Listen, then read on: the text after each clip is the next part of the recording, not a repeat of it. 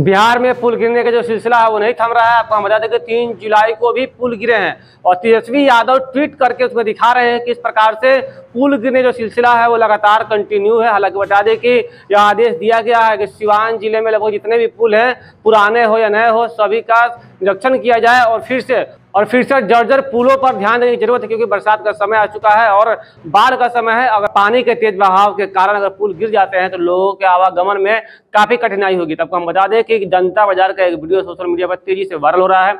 जिस वीडियो में आप देख पा रहे हो किस प्रकार से पुल जो है, वो पुराना पुल है, जर्जर पुल है, और किस प्रकार से वो पानी में समा जाता है। तो आपको हम बता दें कि लगातार पुल गिरने जो सिलसिला है, वो लगातार कंटिन्यू है और लगभग तीन किलोमीटर के अंदर में तीन पुल गिर गए हैं। तो आपको हम बताएँ कि जिस प्रकार से पुल गिरने का जो रिकॉर्ड नया बनते जा रहा है, वो 2024 में तो कहीं ना कहीं इस पर चर्चा करने की ज़रूरत है, क्योंकि अगर नए पुल गिर रहे हैं तो ये सवाल का विषय है। अगर पुराने पुल भी गिर रहे हैं तो ये भी एक सवाल का विषय है, क्योंकि अगर पुराने पुल की मरम्मत अगर समय पे की जाती तो शायद पुराने पुल भी नहीं गिरते। लेकिन आपको हम बता दें कि जो पुल नए हैं, जो निर्माणाधीन है, जो अभी बनकर तैयार भी नहीं हुए हैं वो पुल भी गिर रहे हैं। तो आप समझ सकते हैं कि क्या यह पुल है, वो भ्रष्टाचार का शिकार हो रहा है, क्योंकि जिस प्रकार से पुल गिरने का जो सिलसिला है, वो नहीं थम रहा है। बिहार में पुल गिरने के कारण बिहार काफ़ी ज़्यादा चर्चाओं में बना हुआ है, क्योंकि जिस प्रकार से पुल गिरने की जो प्रक्रिया है, वो नहीं थम रही है और ट्रोलिंग जो है विपक्ष की तरफ़ से कंटिन्यू है। वो लगातार विपक्ष जो है, वो बीजेपी को टारगेट कर रहा है, एनडीए को टारगेट करके दिखा रहा है किस प्रकार से बिहार में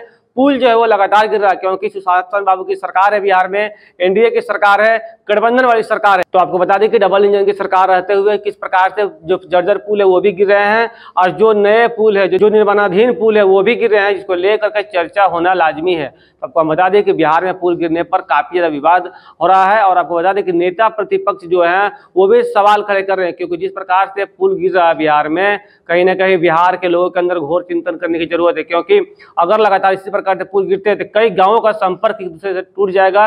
और आपको बता दें कि बारिश का समय है बाढ़ का समय है। अगर आवागमन के लिए रास्ता अगर नहीं बचता है तो कहीं ना कहीं ग्रामीणों को काफ़ी ज़्यादा कठिनाई हो सकती है। दीक्षांत एडुटेक लाया है दीक्षांत सी लर्निंग ऐप। बने दीक्षांत का चैनल पार्टनर और अर्न करे लाखों रूपए प्रति महीने। चैनल पार्टनर बनने के लिए विज़िट करें www.दीक्षांत.com